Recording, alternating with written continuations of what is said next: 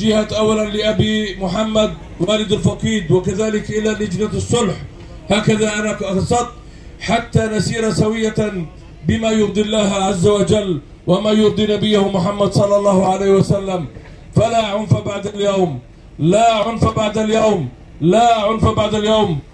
ونستغفر الله لنا ولكم أجمعين.